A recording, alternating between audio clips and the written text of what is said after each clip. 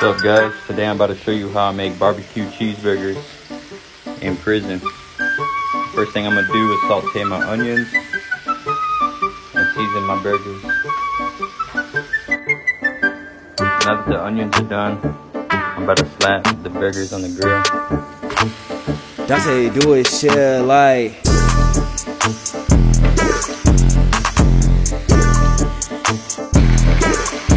Now I'm about to throw the cheese on there.